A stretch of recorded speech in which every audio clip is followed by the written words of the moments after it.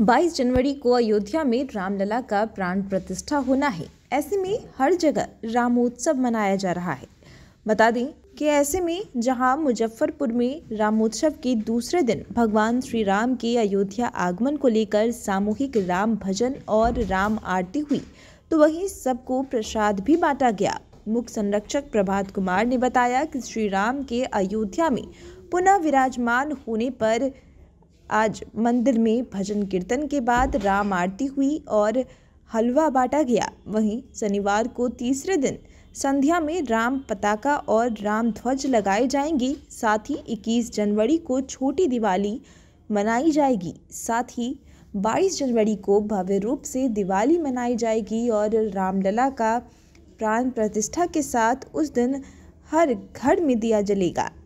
हर घर राम के तहत 500 से अधिक श्री राम चित्र घर घर पहुँचाए जाएँगे। साहू पोखर, राम सीता राधा कृष्ण बड़ा मंदिर में आज रामोत्सव के दूसरे दिन दीपोत्सव चलाई गई। राम जी का भजन गाया गया और राम जी की सामूहिक आरती उतारी गई।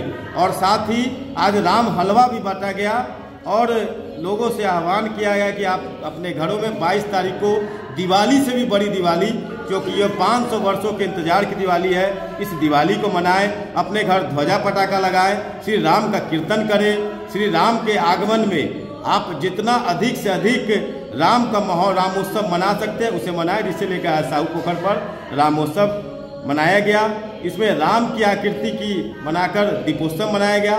साथ ही कल जो है संध्या शाम बजे यहाँ से राम ध्वजा का वितरण होगा और राम कीर्तन भी होगा। और साथ ही 21 तारीख को रामधुन पटना न्याय समिति की ओर से प्रारंभ होगा, जो 22 तारीख तक चलेगा और 22 तारीख को प्रसाद का वितरण होगा।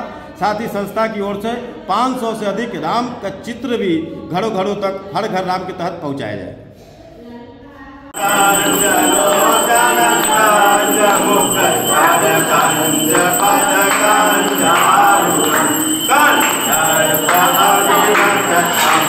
Sabina, Sabina, Sabina.